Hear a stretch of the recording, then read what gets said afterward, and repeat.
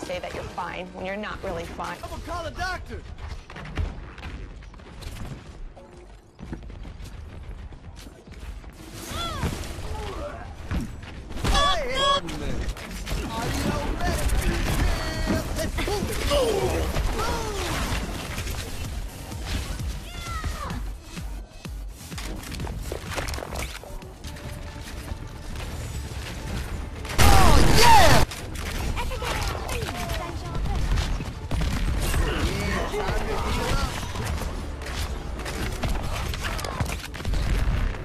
Kill me.